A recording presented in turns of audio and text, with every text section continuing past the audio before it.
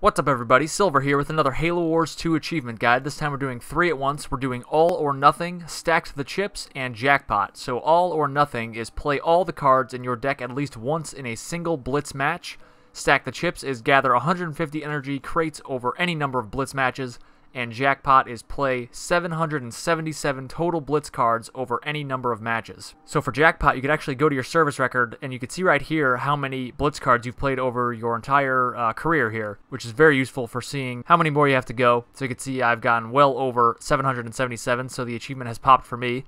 So all you really need to do here is go into Blitz games and just play as usual, or you could just spam a bunch of low cost cards if you really want to to try to speed this up a little bit, but if you just play normally, you should get this fairly quickly. As for Stack the Chips, gather 150 energy crates over any number of Blitz matches.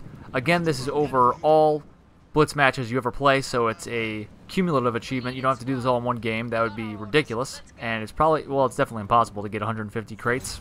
But anyway, you can see here I'm in a Blitz match, and these supply drops that drop down are the things you need to get. So every so often, you'll see them pop up on your screen and just drive some of your units over, blow them up and collect those energy crates and you will get your way to 150 and you'll unlock that achievement. So that one is very easy as well. Unfortunately, there's no area on the service record to see how many you have collected over time like there is for the Blitz cards. Seems like that's something they should have thrown in there. But you'll have to just keep working your way towards it without really uh, knowing how close you are. And that brings us to All or Nothing, which is play all the cards in your deck at least once in a single Blitz match. So in Blitz you have 12 unique cards, so you need to play all 12 of those.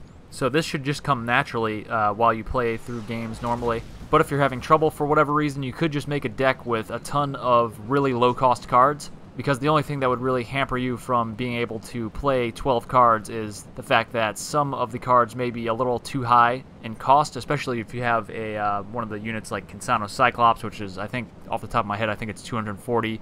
Uh, so that's a lot to uh, save up. So if it's a quick game, you probably won't be able to uh, play that unit along with all your other units. But for your average game slash your uh, longer game, you should definitely be able to do this. But if you feel it's necessary, go in, edit your deck, uh, before the game starts and then come in here with a bunch of low cost cards and you can just spam them all right in the beginning. So that's it for this video guys, getting all these fairly easy achievements out of the way before we jump into the legendary guides. But that's it for these, so thank you very much for watching, click like and subscribe, leave a comment, follow me on Twitter at Halo Completion and on Twitch and Mixer at Silver Scorpion 4 and check out our Halo Conversationalist podcast on iTunes and Google Play. And I'll see you guys later for more Halo achievements.